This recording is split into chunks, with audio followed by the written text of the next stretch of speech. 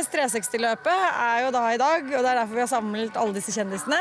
Um, og det går, overskuddet av spillet på S360-løpet går til Hest360-fondet, som hvert år gir stipend til uh, ildsjeler innen hestesporten. da.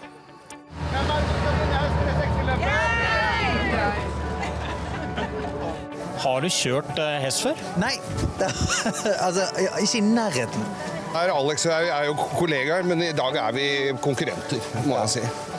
Det pleier å være en god tone mellom oss, men i dag er jeg usikker, altså. Ja, I dag så er det den beste som vinner. Riktig. Og det er Det er meg, selvfølgelig. Det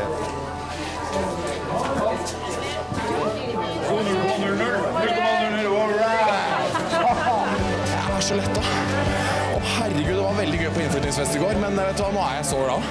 Nei, Takk Gud, ass. Det hadde jeg ikke trodd, jeg.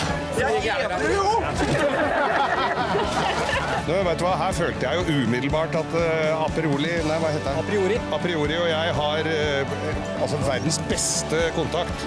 Se på de øynene. Hun her har gjort dette før, altså. Jeg bidrar med ro. Eh, Christian bidrar med å få den fram. Snakka akkurat med Märtha Louise, og det eneste hun var opptatt av, hvor er Christian? Nå er han på vei.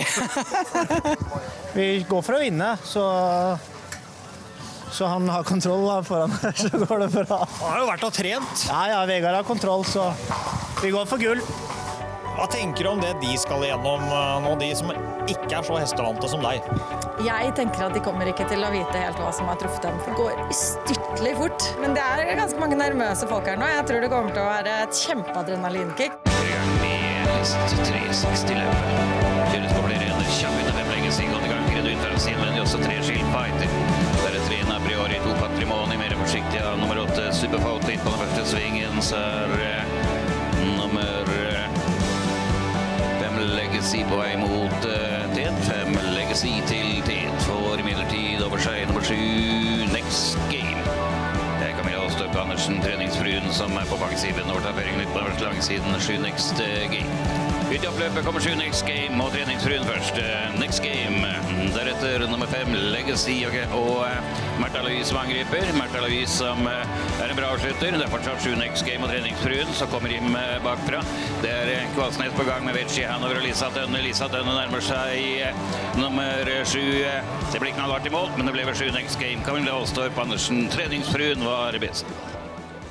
Det gikk skikkelig fort, og det var jo så gøy.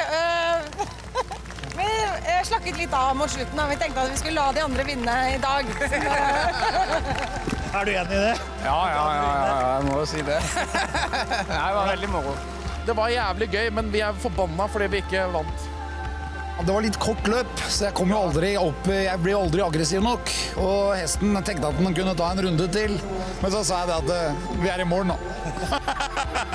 Camilla, det endte med seier, faktisk. Hvordan eh, føltes det uti der? Altså, det var helt rått. Eh, Jeg, jeg har så lyst til å gjøre det her igjen, jeg. Og jeg følte at jeg var i så gode hender, så jeg var veldig, veldig trygg. Og når vi starta, så var det egentlig vi bare rusha fra de andre. Altså, jeg var litt av en hest.